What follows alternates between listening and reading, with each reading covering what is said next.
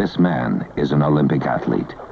Mr. Jam Handy, America's oldest living medalist. He won his medal in 1904. Today, young American women are beating his 1904 finishing time by the length of a pool.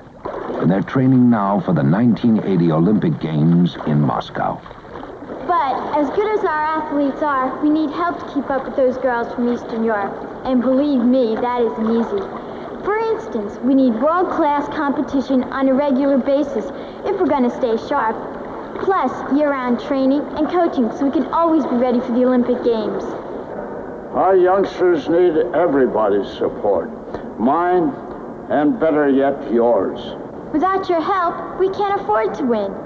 Support our athletes through Olympic, Dover, Mass. 02030. That's Olympic, Dover, Mass. 02030.